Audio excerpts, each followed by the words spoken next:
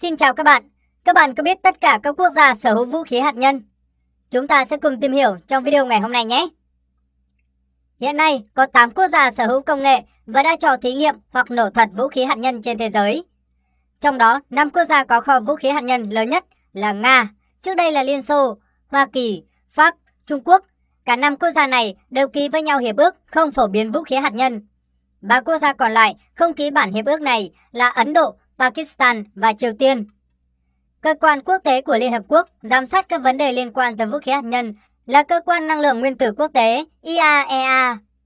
Riêng với trường hợp Triều Tiên, mặc dù thế giới chưa biết chính xác nước này có sở hữu vũ khí hạt nhân hay không, nhưng Triều Tiên đã nhiều lần thử nghiệm với loại vũ khí hủy diệt hàng loạt này, và tiến xa hơn là thử nghiệm các loại tên lửa liên lục địa mang đầu đạn hạt nhân tấn công các mục tiêu của mình. Vào năm 2005, Triều Tiên tuyên bố với thế giới mình sở hữu vũ khí hạt nhân. Ngoài ra, một trường hợp tương tự như Triều Tiên là Iran. Từ năm 2004, Iran bị Hoa Kỳ nghi ngờ đã xúc tiến chương trình phát triển vũ khí hạt nhân. Trong khi đó, Iran luôn tuyên bố mình phát triển nghiên cứu hạt nhân nhằm mục đích dân sự, xây dựng các nhà máy điện hạt nhân và không phát triển theo hướng vũ khí hủy diệt hàng loạt. Tuy vậy, Iran và cả Triều Tiên đã đều bị các lệnh trừng phạt cấm vận của Liên Hợp Quốc và các nước phương Tây về vấn đề hạt nhân, và vấn đề này còn kéo dài đến tận ngày nay.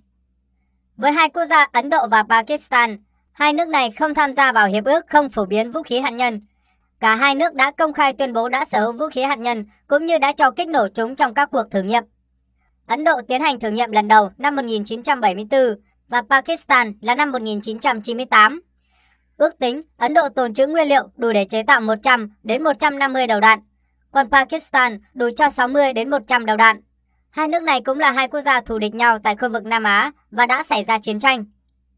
Ngoài chính quốc gia kể trên, Israel cũng được thế giới khẳng định đã sở hữu vũ khí hạt nhân. Các nghiên cứu phát triển vũ khí hạt nhân của Israel diễn ra từ năm 1958 đã được khẳng định. Thế giới tin chắc rằng nước này đang tồn trữ 100 đến 200 đầu đạn hạt nhân. Tuy vậy, chính phủ Israel từ chối xác nhận hoặc bác bỏ nguồn tin này. Một đồng minh của Israel tham gia thử nghiệm cùng là Nam Phi cũng được xác định đã từng sản xuất 6 quả bom hạt nhân vào những năm 1980 nhưng đã phá hủy chúng vào đầu thập kỷ 1990 và tham gia vào hiệp ước không phổ biến vũ khí hạt nhân. Trong số các quốc gia sở hữu vũ khí hạt nhân, Nga và Hoa Kỳ là hai nước sở hữu kho vũ khí lớn nhất.